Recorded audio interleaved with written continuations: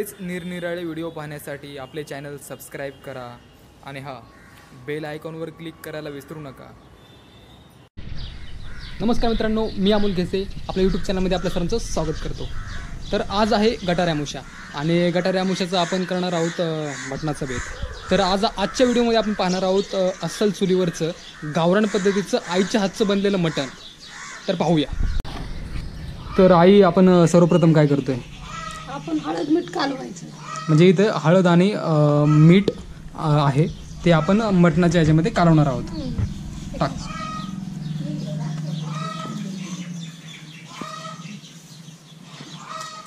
ते कालवायचं. हां. तर अ, हळद आणि मीठ अ, या मटणाच्या ह्याच्यामध्ये एकजीव करून घ्यायचं. तर अ, आई आपल्याला आता काय करायचं आहे आलं लसूण खोबरं टेचायचं. हां. पाट्यावर. पाट्यावर टेचायचं म्हणजे अ, लसूण हा. आलं आणि खोबरं हा. टेचायचं पाट्यावर. आणि त्याच्यानंतर हा कांदा सोबत घेऊन त्या पाट्यावरचं मिश्रण ते आपल्याला काय फोडणी द्यायची? फोडणी द्यायची. तर आई आता आपण अ, काय करणार आहे? आपण आता पातेल गरम करायला ठेवलंय. म्हणजे हे पातेल आपण गरम करायला ठेवलंय. आणि अ, याच्यामध्ये काय आहे? आता त्याच्यात चिकन आहे. याच्यामध्ये म्हणजे मीठ आणि अ, हळदीमध्ये हे कालवलेलं चिकन मटन. हम्म. आणि त्याच्यानंतर तुम्ही इकडे पाहू शकता की हे तेल आहे अ, कांदा आहे आणि हे वाटण जे आता आपण पाहिलं लसूण अ, खोबरं आणि आल्याचं वाटण. तर आता आपण अ, फोडणी देणार आहोत. हा. फोडणी ना? हा. हा आता फोडणी देणार आहोत. तर फोडणी बघूया. आता तेल टाकते. म्हणजे तेल टाकते. म्हणजे तेल टाकलेलं आहे. अ, तेल गरम करून घ्यायचं. त्याच्यानंतर टाकते आता. म्हणजे कांदा टाकून परतायचा? परतायचं. हां म्हणजे कांदा परतायचा. कांदा चांगला लाल परतायचा. म्हणजे पूर्ण कांदा लाल होईपर्यंत परतायचा.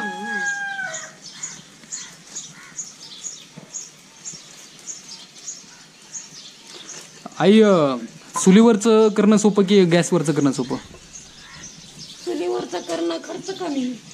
खर्च कमी. आणि चवीला कोणतं चांगलं? चुलीवरचं. चुलीवरचं. पण अ, सध्या गॅस जास्त वापरतात लोक तर गॅस वापरतात म्हणजे धूर लागू नये म्हणून. हां. पण खरी चव चुलीवरचीच चव. चुलीवरची. तू आ- आयुष्यात पहिलं मटण अ, कधी केलं होतं चिकन मटण? नेहमी करतो. सगळ्यात पहिल्यांदा कधी केलं होतं? लग्नाच्या अगोदर की अ, नंतर केलं होतं? लग्नानंतर पण केलं लग्नाच्या फर्स्ट फर्स्ट टाइम जीवनात पहिल्यांदा चि मटण कधी केलं होतं? लग्नाच्या आधी केलं एकदा कुणी शिकवलं होतं? आईने. आईने शिकवलं होतं. तर अ, इकडे समोर पाहू. अ, तेल गरम झालेलं आहे उकळायला लागले. आणि कांदा लाल होईपर्यंत आपल्याला ते परतून घ्यायचं आहे. तर अ, इकडे कांदा पर परतण्याचं काम चालू आहे. आणि अ, आता हे मटणाचं जे मिश्रण केलं आहे अ, हळदीमध्ये आणि अ, मिठामध्ये ते आई टाकते आहे आई साधारणपणे अ, मटण शिजायला किती टाईम लागतो? अर्धा तास. अर्धा तास फक्त. आणि चिकनला? चिकनला पंधरा मिनिट पंधरा मिनटं आता काही हलवून घ्यायचं आहे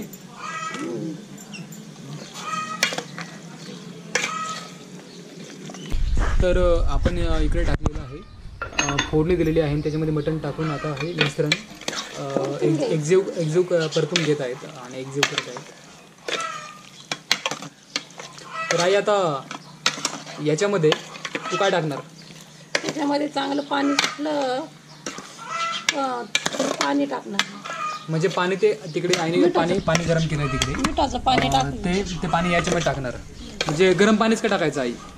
लवकर शिजतं म्हणून. म्हणजे लवकर शिजण्यासाठी गरम पाणी टाकायचं. आणि मटणाला पण आमचं पाणी सुटत असेल ना त्याच्यामुळे अंदाज घेणं महत्त्वाचं आहे.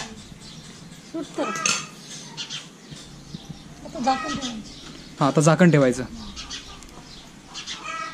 किती वेळ हे किती वेळ ठेवायचं? हे दहा मिनिट. दहा मिनटं ठेवायचं. आणि तुला कसं कळणार की याच्यामध्ये आता या टाईमला आता टाकायचं पाणी? आवाज येतो आवाज येतो. फोडणीला दहा ते पंधरा मिनिटामध्ये पाणी सुटतं. पाणी सुटल्यानंतर आपल्याला ते थोडंसं मिश्रण हलवून घ्यायचं आहे आणि तुम्ही पाहू शकता पाणी सुटलेलं. हां पाणी सुटलेलं. पाहू शकता. ते दहा ते पंधरा मिनटानंतर पाणी सुटतं. त्यानंतर मिश्रण हलवून घ्यायचं. आणि त्याच्यानंतर आपल्याला त्याच्यामध्ये त्याच्यामध्ये गरम पाणी टाकून परत अर्धा तासासाठी आपल्याला परत हे चुलीवर ठेवायचं आहे. तर एकूण अर्धा ते पाऊण तासामध्ये हे पूर्ण शिजून निघतं. फोडणी. तर आई आता पाणी टाकते आहे.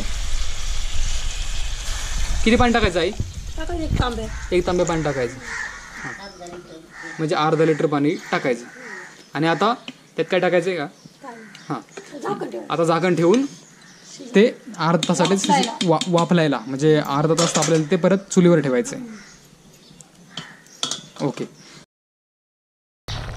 तर मित्रांनो हे आपलं तीस पस्तीस मिनटे शिजवल्यानंतर हे आपलं आळणी तयार झालेलं आहे आणि आता आपण तिखटातलं बनवणार आहोत. तर आई आपल्याला आता काय करायचं आहे कांदा भाजायचा तर आपल्यासमोर आईकडे कांदा हे मसाला खोबरं कोथिंबीर आणि हा जो ही जी पावडर आहे ती पावडर ही डाळ आणि बाजरी यांची भाजून केलेली पावडर आहे. तर आपण आता कांदा आणि खोबरं हे आपण भाजणार आहोत. भाजून त्यांचं वाटण करायचं आहे म्हणजे त्या वाटणामध्ये कोथमीर घ्यायची. तर आपण आता पुढची रेसिपी पाहूया. तर इकडे आपण कढईमध्ये तेल आणि त्याच्यामध्ये खोबरं हे तळून घेणार आहोत. आणि त्याबरोबरच कांदा तळून घेणार आहोत. किती वेळ तळायचा आई? ह्याला पण लाल रंग पण तळायचं का? आता खोबऱ्याला लाल रंग आला आहे. आणि आता खोबरं काढून घेणार आहोत. खोबरं काढून घेत आहेत. आणि याच्यानंतर त्याच तेलामध्ये आता कांदा तळून घ्यायचा आहे परतून घ्यायचा आहे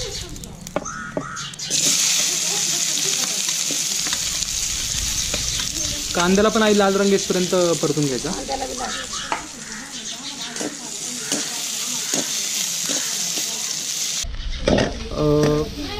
तीन चार मिनटं हे तळल्यानंतर याला लाल रंग आला. आता हे काढून घ्यायचं कांदा.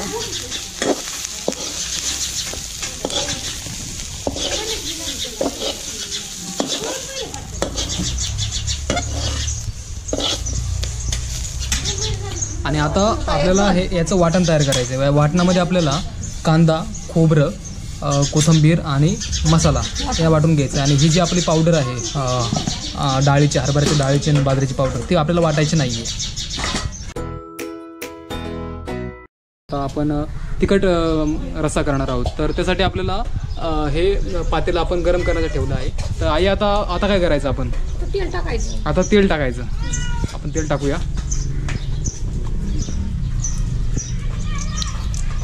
अ, तेल अ, उकळून द्यायचं.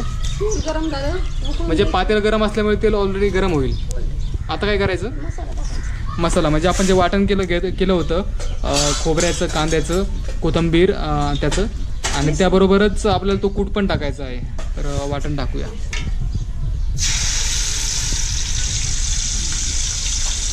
हे पाण्याने टाकायचं आहे.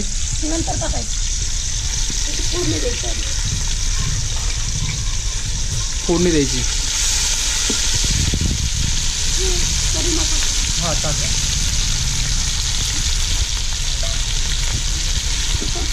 मसाला टाकला आणि हे परतून घ्यायचं.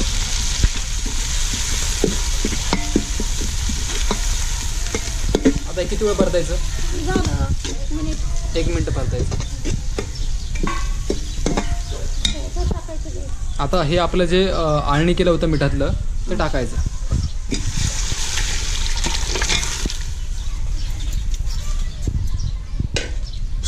आणि ते आता हलवून घ्यायचं.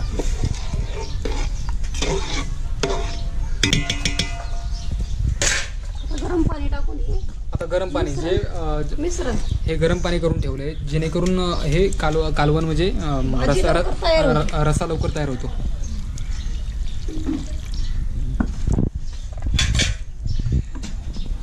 म्हणजे हे डाळ आणि बाजरीची भुकटी पण मिक्स केली आणि ते आता टाकायचं. हे गरम पाणी आहे सगळं टाकायचं आहे का? हां सगळं टाकायचं. हां तर आता हे टाकूया.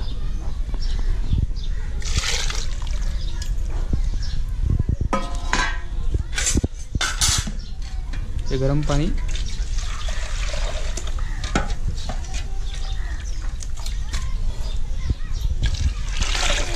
टाकूया. आणखी काय टाकायचं आई? आणखी काय नाही आता गरम पाणी. मीठ? चवीनुसार. चवीनुसार मीठ टाकायचं कारण की आपण मीठ वाटणामध्ये टाकलं होतं. त्या त्याचबरोबर आपण पहिलं जे हे केलं होतं आळणी केलं होतं त्याच्यामध्ये पण मीठ टाकलं होतं जेव्हा मटणामध्ये.